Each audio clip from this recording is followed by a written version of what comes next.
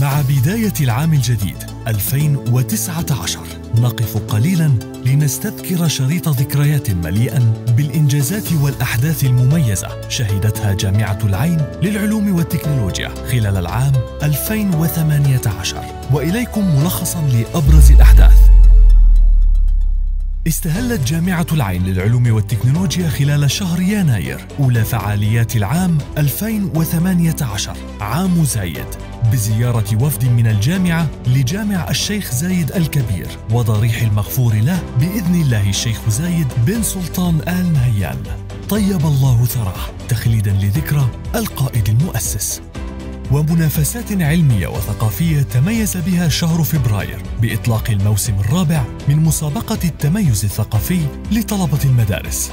وسجل مارس حضور أكثر من تسعين باحثا وأكاديميا في ورشة العمل الإقليمية الثالثة لتطوير مهارات أعضاء هيئة التدريس تحت عنوان أفضل الممارسات للتخطيط والتقييم في التعليم التجريبي. وفي حفل استعراضي ضخم كشف الستار في إبريل عن الطلبة الموهوبين خلال يوم المواهب الأول من نوعه في الجامعة.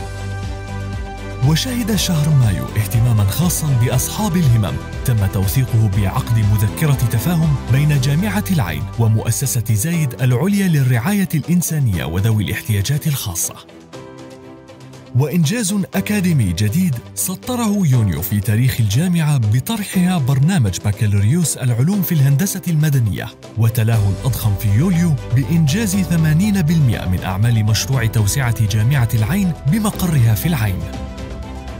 أما في أغسطس وفي ظل الإنجازات المتتالية لم تنسى جامعة العين بأن تكلل جهود المرأة بتكريم متطوعات فريق فخر أبو ظبي التطوعي بمناسبة يوم المرأة الإماراتية لتستكمل مسيرة النجاح الأكاديمي في سبتمبر بطرح مساري إدارة المشاريع وإدارة الرعاية الصحية في برنامج ماجستير إدارة الأعمال.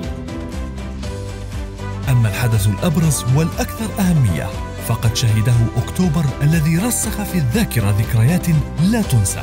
خلال حفل تخريج دفعة عام زايد برعاية وحضور معالي الشيخ نهيان بن مبارك آل نهيان وزير التسامح. وتوالت الأفراح واللحظات الجميلة في نوفمبر ضمن احتفالات اليوم الوطني السابع والأربعين لدولة الإمارات العربية المتحدة.